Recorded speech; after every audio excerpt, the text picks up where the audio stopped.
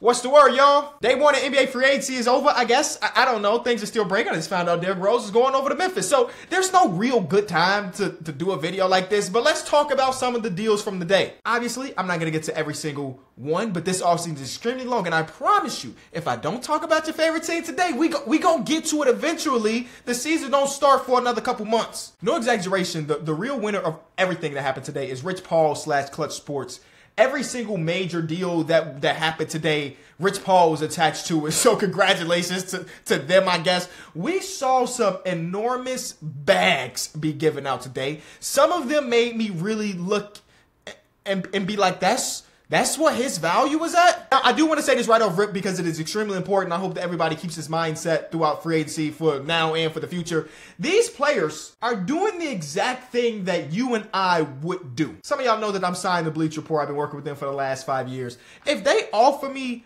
a dollar amount that is way more than I think I'm valued, guess what I'm going to do? I'm going to sign that paper. You know what I'm saying? So you might think a player is overpaid, but again, I, I, wouldn't take my frustration out on the individual player because they're just doing what's right for them and their family. If you want to get mad about somebody being overpaid, be, be mad at your front office because they thought that that's what the value was at. Okay, cool. Or be mad at another organization because they rose the price up of a specific player. Just don't come at the players because again, they're doing what me and you would do. I, my contract is up with BR very soon, and if they are giving me an enormous bag and I'm like, whoa, that's that's what I'm at, I'm gonna sign it and you should and you, you should too no, no matter what your job is a raise is a raise. So before free agency even started um, a lot of things happened. Joe harris got traded chris duarte got traded. Again we'll talk about some of those things not today but in the future video whatever. The thing that stood out the most to me was Trendon Watford getting waived. And, and that's such a minuscule name to like an average NBA fan, but he's a 22 year old forward that was at least decent over the last couple seasons. He was making a contract that was less than the veteran minimum. So for the Portland Trailblazers to waive him for practically nothing, I thought in my mind that meant something big was about to happen.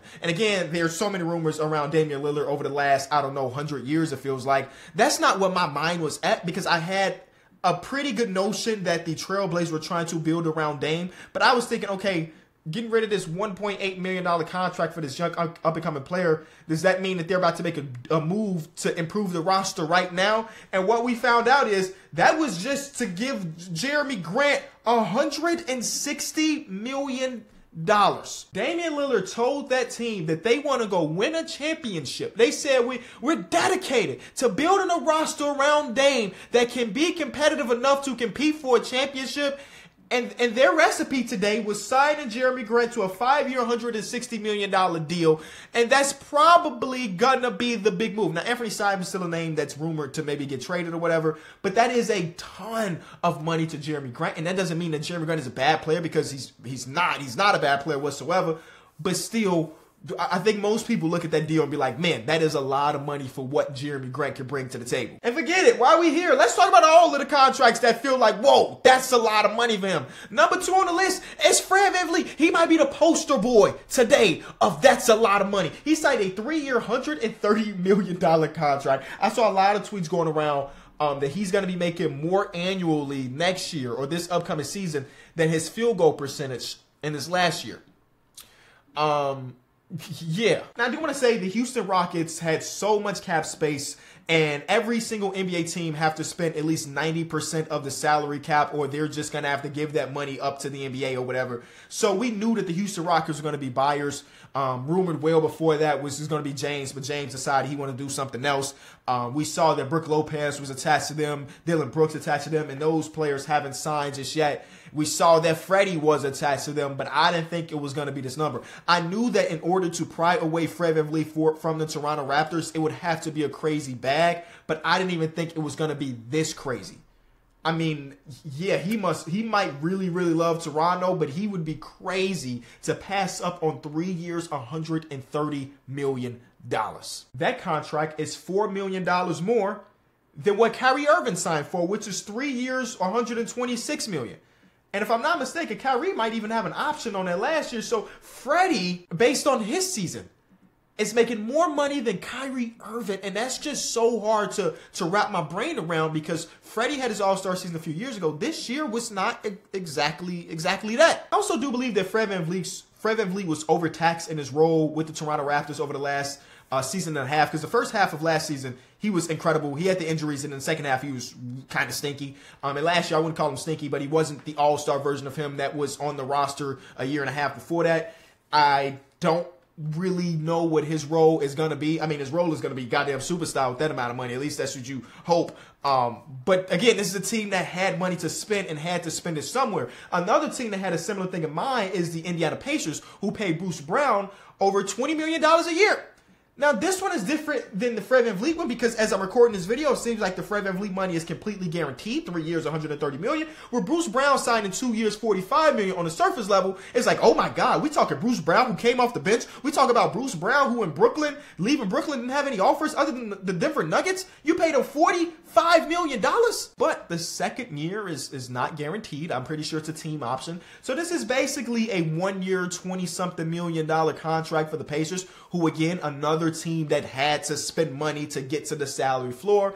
And they pried away a guy in Bruce Brown who felt like he might be going back to the Denver Nuggets. But at this evaluation, he can't pass up this one year bag. And if he plays great, possibly two year bag, get that second year guarantee down the line.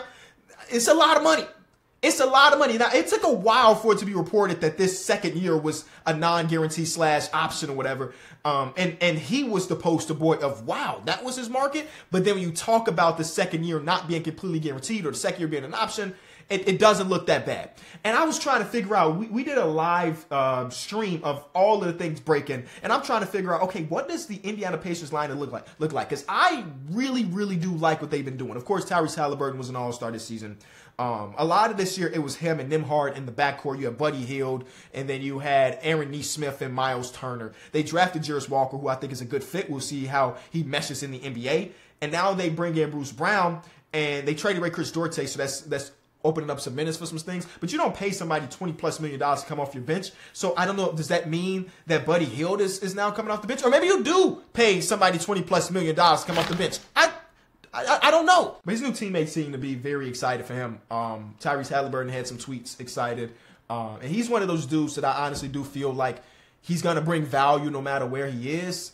Uh, and, and every at the end of every single season, there's like these cap experts that that tell you a player if they lived up to their contract. I wonder what that's going to look like at the end of next season. Will Bruce Brown pay play to the to the point where he's worth 22 23 million dollars annually only time will tell one of the more surprising things of the evening was seeing Kyle Kuzma go back to the Washington Wizards four years 102 million dollars and it, it kind of makes sense. We think about all the teams that had money that they could potentially throw at Kuzma. The Kings ended up using their money to bring back Harrison Barnes yesterday, and then brought back uh, Trey Lyles on a good deal. So uh, it, it, seemed like he might have been a fit there. They used their money other ways. Indiana Pacers, again, like we mentioned, g- gave a bag to Bruce Brown. Obviously, we see that the Houston Rockets had their eyes set on the point guard and Fred VanVleet. So the market for Kyle Kuzma, if he wanted to explore his options outside of Washington, dried up really fast.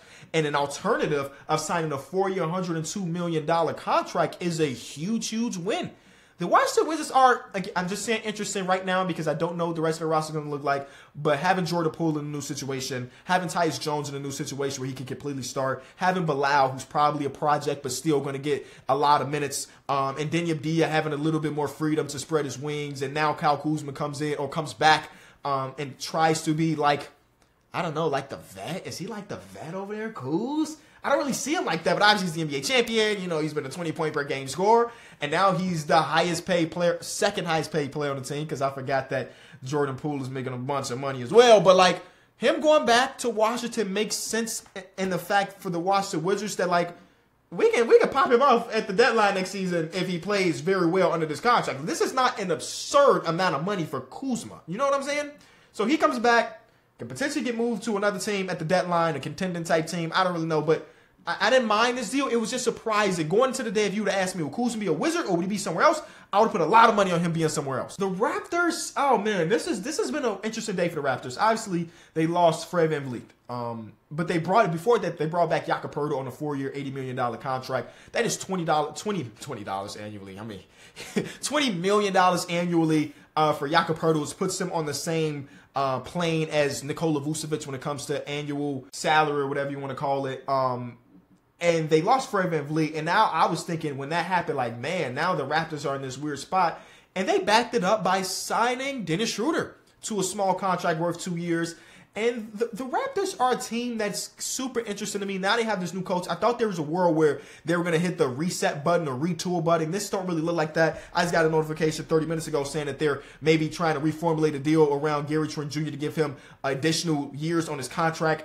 OG Anunoby's up for an extension soon, and so is Pascal Siakam. I'm not completely sure what Masai's cooking, um, but he's he's trying to he's trying to cook something when I thought that it was going the other direction. You, usually when you bring in a coach with no head coaching experience at the NBA level, a lot of the times like, hey, we're gonna give this dude a shot. We're gonna have him develop some young talent. We're gonna be somewhat bad and let him learn the, the ropes in the NBA as a head coach. Instead, they're saying like, hey, we're gonna keep our core together as much as we can because they couldn't match 130 million dollars from Fred VanVleet. We're gonna keep our core together as much as we can and let the rookie coach do his thing and hopefully we get more ball movement instead of the stagnant offense that we saw all last year so I don't know. The, the Raptors are one of those teams that I could see being a lot better next season. Again, I know they lost the talent of Fred VanVleet, but now that we have this different mindset with, with the coaching, I, I don't know. Again, we got to see what the rest of the offseason looks like. Cam got his bag, four years, 108 million. Love that for him. Herb Jones got a reconstructed deal, four years, 54 million. I'm just again, I think this is one of the steals of the day. Four years, $54 million for Herb. Now, obviously, the big thing about Herb is can we get him to be a knockdown three point shooter, a super respectable three point shooter? But the defense speaks for itself. It, it, speaks volumes. And with him only being 24 years old, signing him to a contract that's like at the end of it or towards the back end of it, that that's less money than what the mid-level exception is going to be. I think that's an absolute steal. I probably should have started off talking about the Suns because the Suns did a lot today. Damion Lee on a one-year deal, Drew Eubanks on a one-year deal, Josh Okogie is back. They brought in Keita Bates Diop. They brought in Yuta Watanabe. They brought in Chimezie Metu. That that was in in the last six hours. That's six signings in six hours, y'all. And considering the place that they're in, where they're close to being hard capped and they have all these max contracts, I think the group of guys that they got can come in and, and fill up some roles. I think Keita Bates Diop, a lot of people are gonna realize how solid Keita Bates Diop is. Two years, five million dollars. He had a lot of good moments with the Spurs last season. Drew Eubanks, I, oh man, Derek always brings up the stat that like Drew Eubanks had the most blocks off the bench in basketball last season, so he could add some value there. Yuta was the the best corner three point shooter in all the ball last season, shooting 52% on corner threes, and obviously played with Kevin Durant for like a little a little while. I think given the circumstances, I think they walk out of today feeling really good about next season. Now, how would this all look on the court considering you, the only people that are coming back are like Booker, Ayton, and maybe Cameron Payne? Like everybody else on the, and Kevin, I guess, everybody else on the team is brand new and you're going to get that continuity phase or whatever. I don't know how it's going to exactly look. Uh, but again, given the circumstances, I thought they did pretty solid. I don't love what's happening with the Miami Heat right now. I'm be honest with you, uh, losing Strus and Gabe Vincent uh, in return, getting Josh Richardson back. Last time Josh Richardson was really, really good was when he was with the Miami Heat. Maybe that Miami Heat coaching can bring him back to that. Remember, Josh Christopher got tra- Josh Christopher, Josh Richardson got traded for Jimmy Butler, almost straight up, almost. you know what I'm saying? Um, but they lost. Uh, they lost some key pieces. Um, Kevin Love is back too, I guess, but they lost some key pieces. I'm sorry, the Max Strus thing is not confirmed. It was it was reported about the Cavs signing them, and then there was a secondary report that said they're trying to work out a sign trade. I don't know. I'm not going to say that Max Strus is not on the roster because it's not confirmed. I think the Lakers have been doing some cool stuff, um, given the circumstances. They brought in Cam Reddish, which is like a flyer on a dude that was one of the top ranked players of his class. Uh, former 10th overall pick, but he's been around the block now with the Atlanta Hawks, New York Knicks, the Portland Trailblazers, and now with the Lakers. Um, maybe the Lakers can get him to reach that untapped potential. I don't know but they stole away Gabe Vincent from um, the Miami Heat, who's who's good. We saw that in the NBA playoffs, and then Rui Hachimura coming back on 351 feels feels fine. Um, Rui went from a guy that was worth a second round pick at the deadline last season to now signing a $51 million contract. So congratulations to him. Uh, he had walked away from basketball for um, a couple months, if you don't remember, and to sign that kind of a deal after that is pretty dope for him. Uh, we'll see how it translates on the court long term. They still have Austin Reaves out there. I'm praising them at the moment.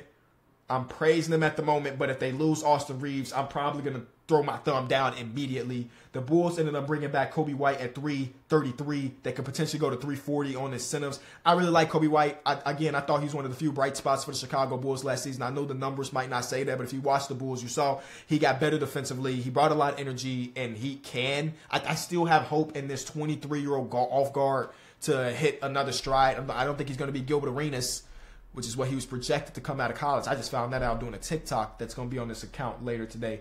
Um, he's not going to be Gilbert Arenas, but he's a solid player. And for $11 million a year, I think that's a good pickup.